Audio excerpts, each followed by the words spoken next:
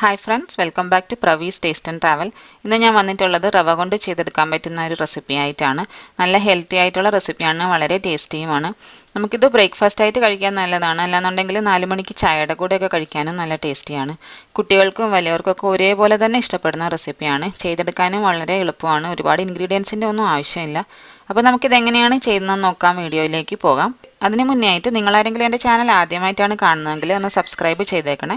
കൂടെ വരുന്ന bell icon press ചെയ്ത് ഓൾ ഓപ്ഷൻ സെലക്ട് ചെയ്താൽ ഞാനിടുന്ന വീഡിയോസിന്റെ നോട്ടിഫിക്കേഷൻസ് ഒക്കെ നിങ്ങൾക്ക് ഉടനെ തന്നെ കിട്ടും. അപ്പോൾ നമുക്കിത് എങ്ങനെയാണ് ചെയ്യുന്നതെന്ന് നോക്കാം. നമുക്കിതിന് ആദ്യമായിട്ട് റവയാണ് വേണ്ടത്. അപ്പോൾ കുറച്ച് തരികളുള്ള റവ എടുക്കുന്നതാണ് നല്ലത്. ഇഡ്ഡലി റവ ഒക്കെ കിട്ടുകയാണെന്നുണ്ടെങ്കിൽ അത് യൂസ് ചെയ്താൽ വളരെ ടേസ്റ്റി ആയിരിക്കും. ഒരുപാട് സോഫ്റ്റ് ആയിട്ടുള്ള റവയാണെന്നുണ്ടെങ്കിൽ ഇത് പെട്ടെന്ന് കുഴഞ്ഞു പോകാൻ സാധ്യതയുണ്ട്. അപ്പോൾ ഞാനിന്ന് രണ്ട് കപ്പ് റവയാണ് എടുത്തിരിക്കുന്നത്. അപ്പോൾ നമുക്ക് ഈ രണ്ട് കപ്പ് റവയും ഒരു ഫ്രൈങ് പാനിലേക്ക് ചേർത്ത് കൊടുക്കാം. അതിനുശേഷം തീ ഒരു ലോ ഫ്ലെയിമിൽ വെച്ചിട്ട് നമുക്ക് നല്ലതുപോലെ ഒന്ന് വറുത്തെടുക്കണം. അപ്പോൾ റവ വറുത്തെടുക്കുമ്പോൾ ശ്രദ്ധിക്കണം ഒരുപാട് തീ കൂട്ടി വെച്ച് ചെയ്യരുത് കരിഞ്ഞു പോകാൻ സാധ്യതയുണ്ട്. അതുപോലെ തന്നെ ഇത് ഒരുപാട് മൂത്ത് ഇതിന്റെ കളറൊന്നും മാറേണ്ട കാര്യമില്ല. ചെറുതായിട്ടൊന്ന് വാടി ഒരു മൂത്ത മണമൊക്കെ കിട്ടുന്നിടം വരെ നമുക്കിതൊന്ന് ചെയ്തെടുത്താൽ മതിയാവും. ഇപ്പം ഞാൻ എടുത്ത റവ ഇവിടെ മൂത്ത് കിട്ടിയിട്ടുണ്ട്. നല്ലൊരു മണമൊക്കെ വരുന്നുണ്ട്. ഇത്ര മതിയാവും. ഈ സമയത്ത് നമുക്കിനി ഇതിലേക്ക് തേങ്ങയാണ് ചേർത്ത് കൊടുക്കേണ്ടത്. ഞാനിന്നിപ്പോൾ ഒരു അരക്കപ്പ് തേങ്ങയാണ് ചേർത്ത് കൊടുത്തിരിക്കുന്നത്. നമുക്കിനി ഈ തേങ്ങയും കൂടെ ഈ റവയുടെ കൂടെ നല്ലതുപോലെ ഒന്ന് മിക്സ് ചെയ്ത് യോജിപ്പിച്ചെടുക്കാം. തേങ്ങയും റവയും കൂടെ നന്നായിട്ട് മിക്സായി കിട്ടിയതിന് ശേഷം നമുക്ക് ആവശ്യമുള്ള ഉപ്പ് ചേർത്തതൊന്ന് മിക്സ് ചെയ്തെടുക്കണം. ഇത്രയും മതിയാവും ഇനി നമുക്ക് ഇതിലേക്ക് വെള്ളം ചേർത്ത് കൊടുക്കാം.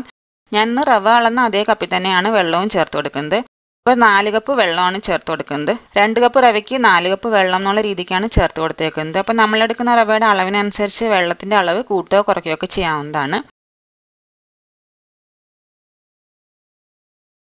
ഇനി നമുക്കിതൊന്നും കൂടെ കുറുക്കിയെടുക്കണം. അപ്പോൾ ഈ മീഡിയം ഫ്ലെയിമിൽ വെച്ചിട്ട് നമുക്ക് നല്ലതുപോലെ ഒന്ന് കുറുക്കിയെടുക്കണം. ഈ തേങ്ങയും റവയൊക്കെ നല്ലതുപോലെ ഒന്ന് വറ്റി ഈ പാനിൽ നിന്നൊക്കെ ഒന്ന് വിട്ട് വരുന്ന പരുവമാണ്. അതുവരെ നമുക്കിതൊന്ന് ചെയ്തെടുക്കാം.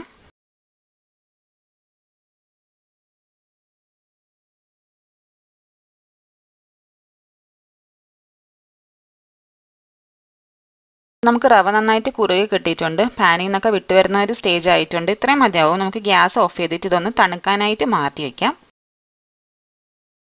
ഇപ്പോൾ ഇവിടെ ഇതിന്റെ ചൂടൊക്കെ ഒരുവിധം മാറിയിട്ടുണ്ട്. കൈ തൊടാവുന്ന ഒരു ചൂടായിട്ടുണ്ട്. ഈ സമയത്ത് നമുക്ക് ഇതിൽ നിന്ന് കുറച്ച് മാവ് എടുത്ത് ഇഷ്ടമുള്ള ഷേപ്പിനാക്കി എടുക്കാം. ഞാൻ ഇന്ന് കുറച്ച് മാവ് ഇതുപോലെ ഉരുട്ടി ഉരുളകളാക്കിയിട്ടാണ് എടുക്കുന്നത്. ഇങ്ങനെ തന്നെ ചെയ്തെടുക്കണമെന്നില്ല. നമുക്ക് പിടി പോലെ വേണമെങ്കിലും ചെയ്തെടുക്കാവുന്നതാണ്.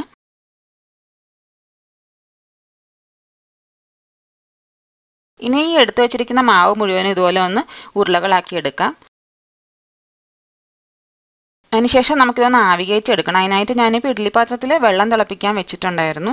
വെള്ളം തിളച്ച് വന്ന സമയത്ത് നമുക്ക് ഇഡ്ഡലി തട്ടിലേക്ക് ഈ ഉരുളകളൊക്കെ വെച്ച് ഒരു പതിനഞ്ച് മിനിറ്റ് മീഡിയം ഫ്ലെയിമിൽ വെച്ച് ഇതൊന്ന് ആവികേറ്റ് എടുക്കാം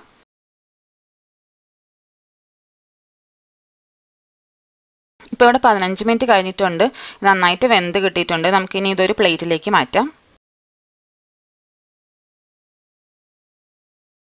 ഞാനിപ്പോൾ നമ്മുടെ ഉരുളകളൊക്കെ ഇഡ്ഡലി പാത്രത്തിൽ നിന്ന് ഒരു പ്ലേറ്റിലേക്ക് മാറ്റിയിട്ടുണ്ട്. വളരെ സോഫ്റ്റ് ആയിട്ട് കിട്ടിയിട്ടുണ്ട്. ഇത് ഇങ്ങനെ തന്നെ സെർവ് ചെയ്യാനും നല്ല ടേസ്റ്റിയാണ് നമുക്ക് ചിക്കൻ കറിയോ മുട്ടക്കറിയോ കൊണ്ടുവന്നുണ്ടെങ്കിൽ ഇങ്ങനെ തന്നെ ഇത് വളരെ ടേസ്റ്റി ആയിട്ട് കഴിക്കാൻ പറ്റും. ഇതൊന്ന് താളിച്ചെടുക്കുന്നുണ്ട്.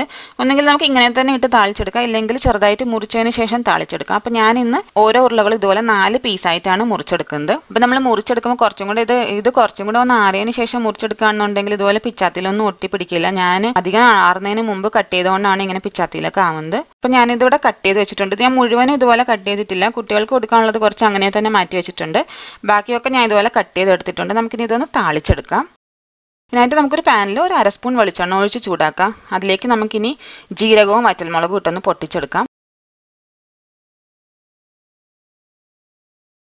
ജീരകം പൊട്ടിയതിന് ശേഷം നമുക്ക് ചെറിയ ഉള്ളിയാണ് ചേർത്ത് കൊടുക്കാനുള്ളത്. ഞാനിപ്പോൾ ഒരു പത്ത് പന്ത്രണ്ട് ചെറിയ ഉള്ളി ഇങ്ങനെ നീളത്തിൽ അരിഞ്ഞതാണ് ചേർത്ത് കൊടുക്കുന്നത്. ഇനി ഇതിലേക്ക് കുറച്ച് കറിവേപ്പിലയും കൂടെ ചേർത്ത് കൊടുക്കുക അതിനുശേഷം നമുക്ക് നല്ലതുപോലെ ഒന്ന് മൂപ്പിച്ചെടുക്കാം. ഇപ്പോൾ ഉള്ളിയൊക്കെ വഴന്നു വന്ന സമയത്ത് നമുക്ക് ഒരു നുള്ളു മഞ്ഞൾപ്പൊടി ചേർത്ത് കൊടുക്കാം. പിന്നെ ഒരു കാൽ സ്പൂൺ പോലെ മുളക് പൊടി ചേർത്ത് കൊടുക്കുന്നുണ്ട്. അതുപോലെ തന്നെ മസാലയ്ക്ക് ആവശ്യമായിട്ടുള്ള ഉപ്പ് ചേർത്ത് കൊടുക്കാം. ഒന്നെങ്കിൽ ഗരം മസാല അല്ലെങ്കിൽ ചിക്കൻ മസാല ചേർത്ത് കൊടുക്കാം. ഞാനിന്നിപ്പോൾ ഒരു കാൽ സ്പൂൺ പോലെ ചിക്കൻ മസാല ചേർത്ത് കൊടുക്കുന്നുണ്ട്. ഇനി ഈ മസാലകളുടെ പച്ചമണം ഒക്കെ മാറുന്നിടം വരെ ഒന്ന് മൂപ്പിച്ചെടുക്കാം. അതിനുശേഷം നമുക്കിതിലേക്ക് കുറച്ച് വെള്ളം ഒഴിച്ചതൊന്ന് മിക്സ് ചെയ്യാം. മസാല നന്നായിട്ട് മിക്സ് ചെയ്ത് കിട്ടാൻ വേണ്ടിയിട്ടാണ്. ഒരുപാട് ചേർക്കരുത്. ഒരു ഒന്നോ രണ്ടോ സ്പൂൺ വെള്ളം മതിയാവും. അപ്പോൾ ഈ വെള്ളം കൂടെ ഒഴിച്ച് മിക്സ് ചെയ്തതിന് ശേഷം നമുക്ക് ഈ വേവിച്ച് വെച്ചിരിക്കുന്ന കഷ്ണങ്ങളെല്ലാം ഇതിലേക്ക് ഇട്ട് ഇതൊന്ന് മിക്സ് ചെയ്ത് യോജിപ്പിച്ചെടുക്കാം. അപ്പോൾ എല്ലാ കഷ്ണത്തിലും ഇതേ മസാലകളൊക്കെ ഒന്ന് പിടിച്ച് ഇതൊന്ന് ചെറുതായിട്ട് മൂത്ത ഒരു മണം വരുന്നിടം വരെ നമുക്കിതൊന്ന് വഴറ്റിയെടുക്കാം. നമ്മളിങ്ങനെ താളിച്ചെടുക്കുകയാണെന്നുണ്ടെങ്കിൽ ഇതിന് പ്രത്യേകിച്ച് കറിയുടെ ഒന്നും ആവശ്യമില്ല. കറികളൊന്നും ഇല്ലെങ്കിൽ തന്നെ നമുക്കിത് കഴിക്കാൻ നല്ല ടേസ്റ്റിയാണ് എനിക്കിപ്പോൾ ഇവിടെ എല്ലാ പീസിലും നന്നായിട്ട് മസാല കവർ ചെയ്ത് കിട്ടിയിട്ടുണ്ട്. ഒരു മൂത്ത മണമൊക്കെ വരുന്നുണ്ട്. ഇത്ര മതിയാവും. വളരെ ടേസ്റ്റി ആയിട്ടുള്ള റെസിപ്പിയാണ് കേട്ടോ നിങ്ങൾ എന്തായാലും ഒന്ന് ട്രൈ ചെയ്ത് നോക്കണം അഭിപ്രായം അറിയിക്കണം. അപ്പോൾ വീഡിയോ ഇഷ്ടമായെങ്കിൽ ലൈക്ക് ചെയ്യുക ഷെയർ ചെയ്യുക. നമുക്കിനി മറ്റൊരു റെസിപ്പിയായി വീണ്ടും കാണാം. Thank so much for watching